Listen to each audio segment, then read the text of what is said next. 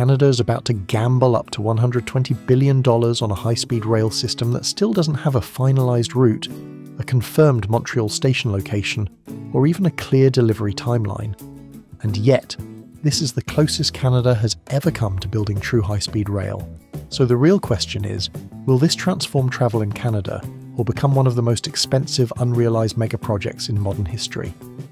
In this video, we'll break down why the idea has taken decades to resurface, what the Alto proposal actually includes, and whether the engineering and political challenges make this project bold or unrealistic. Before this high speed story leaves the station, make sure to subscribe to Design Zip for more architecture and mega project updates. Why has Canada waited so long to build high speed rail? To answer that, you have to look at the 50 year pattern behind every failed attempt. And yes, it really has been that long. Back in the 1970s, the federal government commissioned its first major reviews on a Toronto Montreal fast train. Engineers said the corridor had potential, planners said the demand was there. But politicians looked at the price and quietly backed away. Canada was still building highways, and spending billions on trains felt unnecessary. That was the first red flag. The idea always made sense, but it was never the right time. Then the 1980s arrived. France launched the TGV. Japan kept expanding the Shinkansen. Every developed country was moving into the high speed era, except Canada. Ottawa funded new studies between 1984 and 1991, analysed speeds of 200 to 300 kilometres per hour, and talked a big game. But when provinces changed governments, the momentum collapsed. The reports were shelved once again. By 1995, Ontario and Quebec formed a joint task force to push the idea harder. They even projected huge ridership and a fast Toronto Montreal travel time. But a recession came, budgets tightened, and the project died with another political turnover. Canada's timing always found a way to sabotage itself. In the 2000s, another massive study estimated a high speed line would cost 7 to 9 billion dollars. For once, the numbers looked reasonable, and then Ottawa simply said the country wasn't ready because this project was too risky. And beneath all this was a very practical barrier. Via Rail didn't own most of its tracks, freight companies did. That meant slow limits, constant delays, and zero room for 300 km per hour upgrades. You cannot build a modern network when you don't control the rails. So, yes, Canada waited 50 years, but not because no one tried. It was just not the right time. Alto is the first time Canada is making the dream of high speed rail become a reality. Alto is a brand new high speed rail project designed to connect Toronto, Ottawa, Montreal, and Quebec City, with trains running at speeds Canada has never seen before. And to understand just how big this plan is, you need to know what Alto actually is. The name comes from the word alto, meaning higher, a reference to the government's ambition to dramatically elevate rail travel in Canada Alto isn't just the name of the project, it's also the official name of the new Federal Crown Corporation responsible for overseeing the entire development. Before 2025, this organisation was known as Via HFR, and its job was far more modest build a higher frequency rail line, not a high speed one.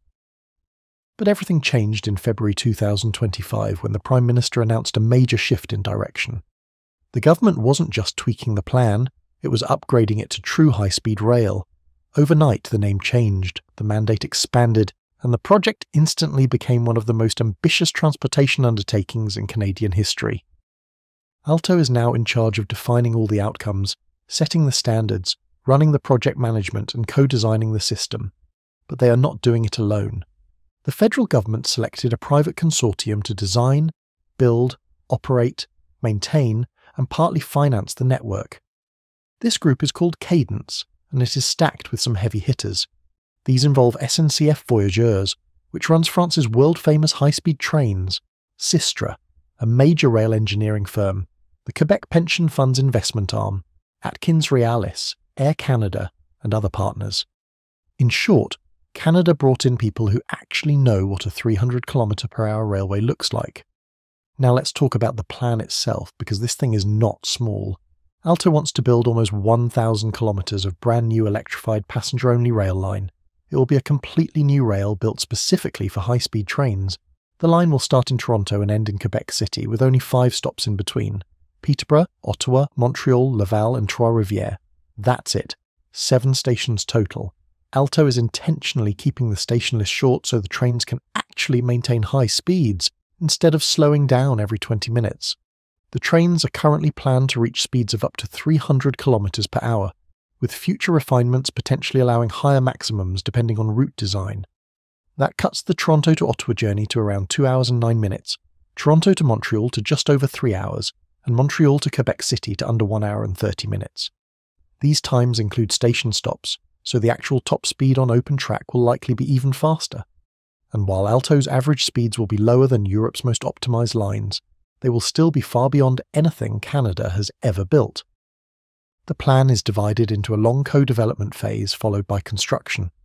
Right now, Alto and Cadence are in the early design stages, which involve four key steps. First, they establish the terms of how both sides will work together. Second, they identify the preferred route alignment, which basically means choosing exactly where the tracks will go. Third, they design route pairs between specific cities so that construction can begin on a segment even if the rest of the line is not ready. And fourth, they push the whole project to about 50% design completion before shovels hit the ground. That's the strategy. Break the line into pieces so progress doesn't stall. It also means the first segment could open even if other parts are still being built. Alto wants to start construction in 2029 or 2030, which is four years sooner than originally planned. This acceleration is supported by the federal government's new Major Projects Office. It's a special body designed to speed up reviews, environmental assessments, and regulatory approvals. If the MPO does its job, Canada could finally move past the slow, repetitive approval cycles that have killed so many projects in the past. Another great thing about this plan is electrification. Alto will be fully electric, powered by overhead lines. That means lower emissions, quieter trains, and faster acceleration. It also helps Canada reach its climate goals. The federal government expects the project to shift travellers away from short haul flights and long car trips, which is exactly why Alto is being framed as climate infrastructure and not just transportation. Alto also includes commitments to accessibility, Indigenous participation, and standards that match modern international rail networks. The project team has already launched technical studies. They have also mapped environmental risks and begun preparing public consultations. They are planning these consultations so that local communities can react before final designs are locked in. And yes, the price is enormous, and yes, the timeline is decades long. But Alto's plan is the first time Canada has attempted something this large, this fast, and this coordinated, it is not a pilot project. It is not a small upgrade. It is a full high speed rail system built from scratch. This is something Canada has talked about for half a century, but never committed to until now. But the thing is, this project is a huge gamble because it carries every risk you can imagine in a country that has never delivered a mega project of this size. The biggest gamble is the cost. Early projections suggest the cost could reach tens of billions potentially in the 80 to 120 billion dollar range. But a final price won't be known until routes, land acquisition, and engineering decisions are confirmed. If we consider all of these, the final price could make even California's high speed rail overruns look tame. Then there is the political gamble. Alto needs more than 15 years of steady support from multiple governments. That's three federal elections, several provincial elections, and an entire generation of shifting priorities. Any new administration could slow funding, push for different stations, or demand new reviews. A single political fight between Ottawa and Quebec could freeze progress for years. And let's not forget that Canada has a habit of restarting projects every time the government changes. There is also the risk built into the partnership model. Cadence is a powerful consortium, but public private projects depend on profit. If costs rise or ridership projections fall, the private side may push for higher ticket prices or additional subsidies. That means taxpayers carry the risk while a private operator collects revenue, and if disputes break out over schedules, routes, or performance standards, the courts will step in. This will slow everything down. Engineering challenges are just as serious. Alto must build nearly 1,000 kilometres of track through farmland, towns, wetlands, protected areas, and dense cities.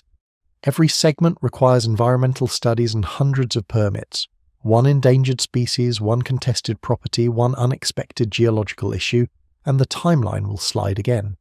And speaking of timelines, Alto's schedule is great and ambitious right now. Construction is supposed to start around 2029, with the first segment opening six to eight years later. That assumes no labour shortages, no material shortages, no legal delays, and no design changes. Meanwhile, Canada is already short on specialised rail engineers and high speed rail technicians. The workforce will have to be built from scratch. If Alto works, Canada gets a 1,000 kilometre electric rail network that cuts Toronto to Montreal, trips to about three hours, replaces many short haul flights, supports up to 50,000 construction jobs, and adds billions to the economy. It would finally give the Toronto to Quebec City corridor a fast, reliable way. But if it fails, Canada loses the money, the time, and the chance to fix a corridor that already carries over 4 million Via Rail passengers a year. Alto decides whether that future moves forward or stays stuck. So, yes, Alto is a gamble, a huge one, a financial gamble, a political gamble, an engineering gamble, and a timing gamble all at once. Canada is finally reaching for the project it avoided for 50 years. But reaching for it doesn't mean catching it. So, I'm curious what's your opinion about this project? And if architecture, engineering, and the future of infrastructure interest you, there's plenty more waiting here explore the Design Zip channel, and if you enjoyed this one, consider subscribing. There's a lot more being built than just train tracks.